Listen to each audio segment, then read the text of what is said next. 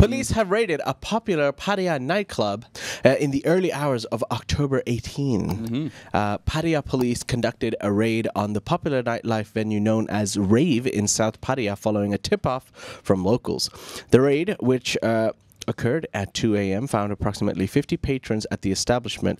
Police swiftly organized the customers, checked their identification, and administered urine tests to detect substance abuse. Two individuals were found to have consumed illegal substances and they were taken into custody. Additionally, evidence of illicit activity was discovered as a sachet with residue of an illegal substance was found in the men's restroom bin. The venue operators were arrested for operating without the required permission and violating alcohol sale regulations by operating post legal hours, highlighting the ongoing efforts to regulate and ensure the legality and safety of nightlife establishments in Pattaya. I wonder what that uh, sachet of white powder in the bin of a men's bathroom would be. I don't know. Could be anything. Sugar powder? Yeah. Don't you like to put sugar in your coffee so that you can drink it and party all night? I do salt on the go, honestly. You never know when you're going to need some more salt. Exactly. Yeah.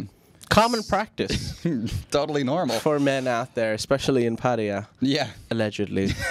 Allegations Yeah, always. let us know in the sure. comment section below. Um, What do you think about raids in nightclubs in Pattaya? Mm. And uh, what do you think was in the sachet?